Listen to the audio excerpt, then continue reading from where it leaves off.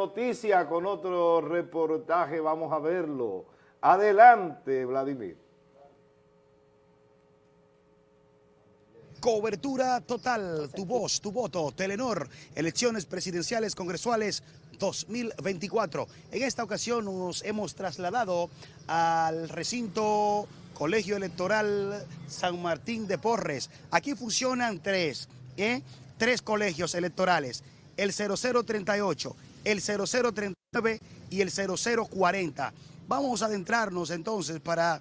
Eh, vamos a penetrar en esta ocasión, ¿verdad?, para eh, presenciar y ver lo que está sucediendo eh, dentro de este recinto aquí en el techado San Martín, en San Francisco de Macorís. Como vemos las imágenes por allá, ahí están colocadas las mesas. Bueno, ya están colocadas dos.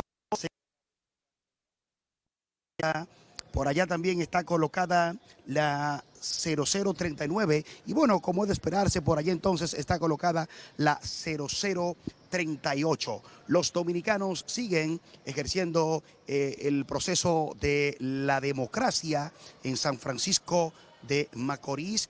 Ahí está justamente en este momento como un ciudadano acaba ya de, de depositar en las urnas su, su, derecho, el derecho que lo consagra. Acaba de depositar la boleta en la D de diputados, en la S de senador y en la P presidencial. Y bueno, ya para dejar plasmado entonces su voto, eh, eh, coloca su firma. Este es un colegio electoral muy tranquilo, aquí, ¿verdad?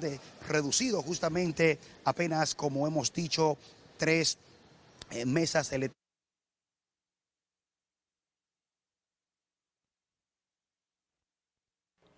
Bueno, tenemos problemas nuevamente, ¿verdad?, con la transmisión con nuestro compañero Vladimir Paula, quien estaba ahí. Vimos ya cómo estaba pasando todo el proceso en el Club San Martín. Ya